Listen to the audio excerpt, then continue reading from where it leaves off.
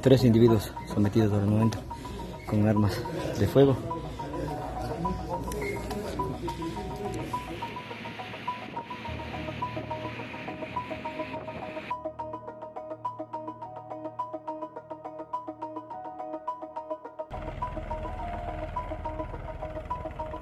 A partir de este momento, todo grupo terrorista identificado en el mencionado decreto se ha convertido en un objetivo militar.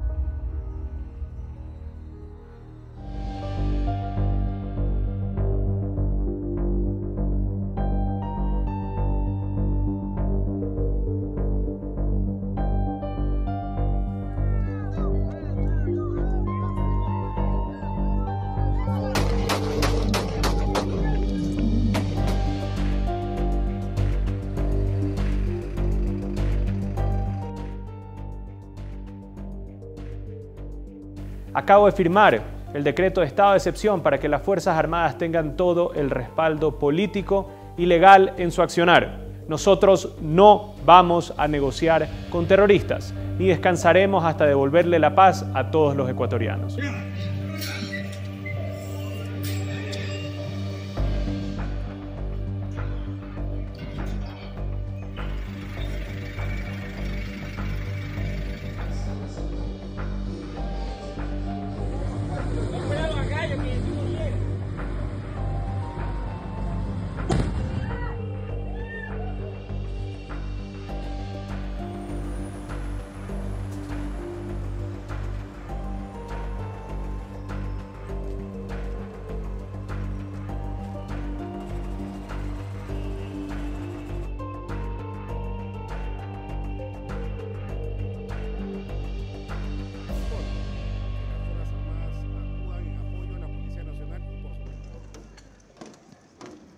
Se va.